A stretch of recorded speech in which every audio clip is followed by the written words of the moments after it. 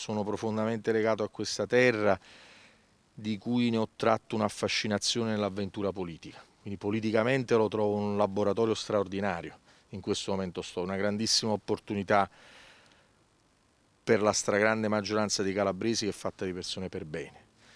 Ovviamente ci ho, ci ho dovuto pensare dei giorni perché è una scelta personale importante, è un ritorno in una terra che mi ha dato tanto affetto ma di cui alcuni calabresi mi hanno anche prodotto ferite mortali cacciandomi da questa terra perché investigavo sui poteri criminali, quindi è una scelta personale difficile, però oggi sono contentissimo di averla fatta in questa direzione.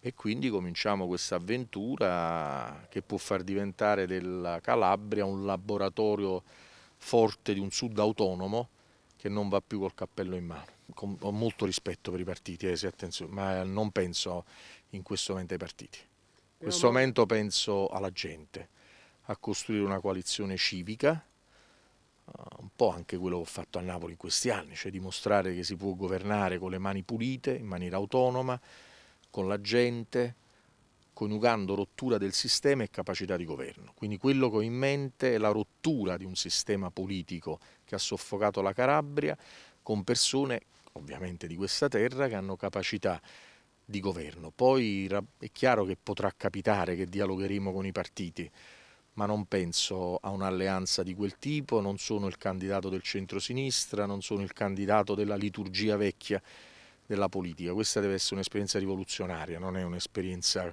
come un'altra.